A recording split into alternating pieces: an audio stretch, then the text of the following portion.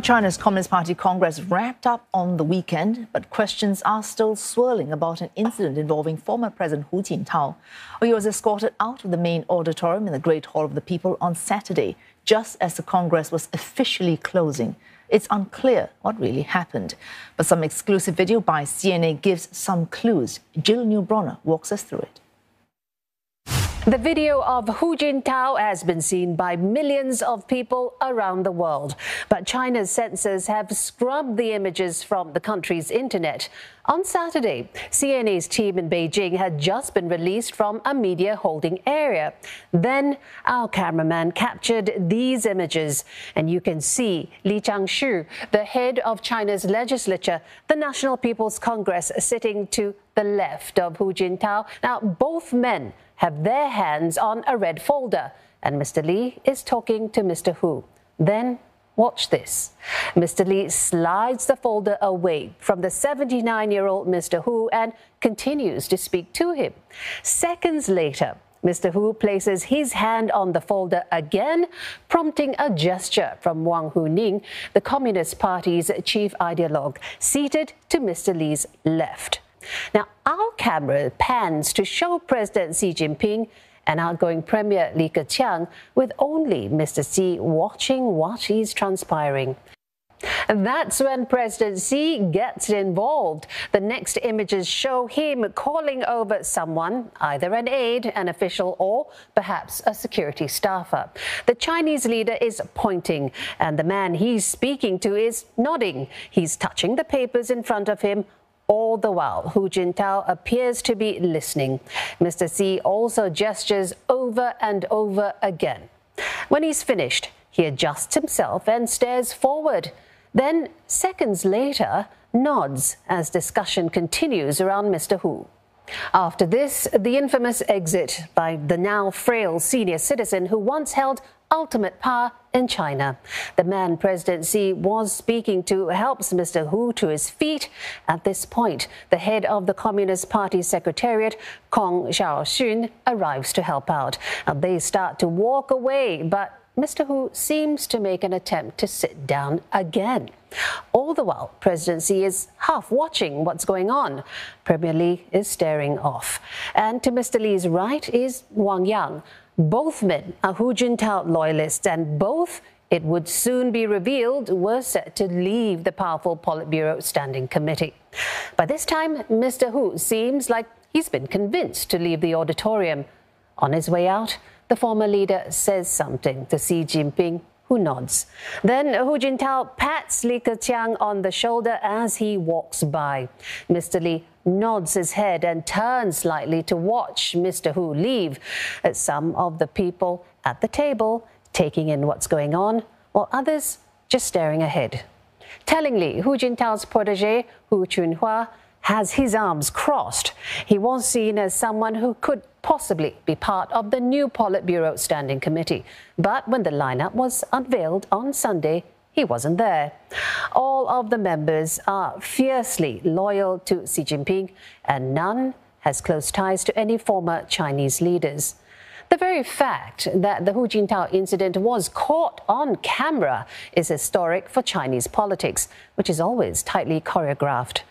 Chinese media say Mr. Hu left because he was not feeling well, but then felt better a short time later. So many questions remain, though. What was Li Zhanshu saying to Hu Jintao? What did Xi Jinping say once he got involved? What did the officials say to Hu Jintao to convince him to leave? And what exactly was inside that red folder in the paperwork that was taken away from Mr. Hu? Given the opaque nature of the inner workings of the Chinese Communist Party, we may never know. Dr. Lim Tai Wei, an adjunct senior research fellow at the National University of Singapore, joins us live from Tokyo. Dr. Lim, uh, we just heard there, uh, we don't know so much. And what we do eventually know, we're likely to know years from now and only in retrospect. But for now, what do we know and what is it useful for us to know? I think uh, what we do know uh, is that uh, there are three uh, sort of interpretation uh, of what's going on, and the first interpretation is very much uh, centered around Xinhua News Agency's official explanation, which was that Mr. Hu was not feeling well, was taken to another room where he got some rest, and thereafter did well. And the second sort of explanation is centered mainly around speculation about the intentionality uh, of the departure uh, from the hall. And certainly, uh, these are true speculation because there are no hard evidence uh, with regards to intentionality of uh, departure from the hall. And the third uh, explanation is centered around what has been released on 25th of October 2022, as recorded by one telecaster. And the speculation is on textual documents that were shown in the new footage. Again, intentionality is unknown, but a lot of debates appears uh, to center around uh, in, uh, around the uh, textual document, the physically seen uh, in the footage. So very quickly, Dr. Lim, uh, and keep this brief. What are those documents? Are, is that the stuff in the red folder, and how are they relevant at all?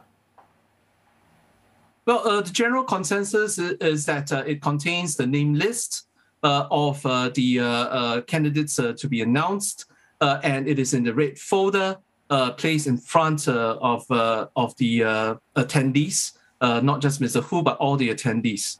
And in that case, there's hardly anything so uh, significant about that. Everyone was going to be knowing at that point who was going to be on the Central Committee, who would be on the Politburo, and who would be on the Standing Committee. So even if it is this textual document, how is this relevant? How is it interesting at all? We'll move on very, very quickly after this. Well, well, that's the assumption by most uh, observers and experts uh, that uh, those are standard documents. Uh, therefore, uh, it comes back to uh, square one, in which we really do not know what happened, and the speculation is likely to carry on amongst the observers and experts unless new sort of developments take place where evidence can be seen.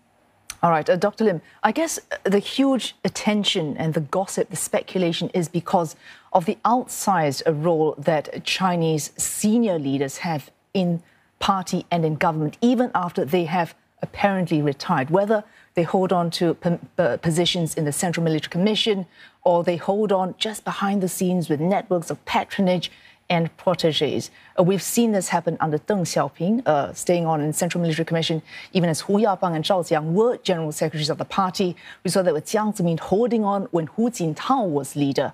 And Jiang, uh, Hu Jintao was the only one who very obediently gave up his position as he should have done. uh, in this context, are we reading too much into it because of the roles that senior leaders play in China's Communist Party? Uh, in past regimes, uh, in, indeed, uh, party elders uh, do have a certain uh, influence uh, that could be felt in corridors of power. It could be overt or it could be subtle. however, in the President Xi's re- regime, which is typically, you know, characterized by observers and analysts as somewhat of a strongman regime with a highly centralized power, Uh, it appears uh, that the uh, influence of party elders uh, have uh, somewhat uh, diminished. Uh, there were some speculations uh, in Western media about some of the veteran party members, including the 105-year-old Song Ping, but these are merely speculations found within the global media outside China. It appears that from President Xi's regime henceforth, that party elders would perhaps uh, Uh, would not uh, sort of uh, have a disproportionate uh, amount of uh, influence on current policy, given the highly centralized nature of his of his administration. Oh, thanks so much for that. Dr. Lim Tai Wei, adjunct senior research fellow at the National University of Singapore, speaking to us there from Tokyo.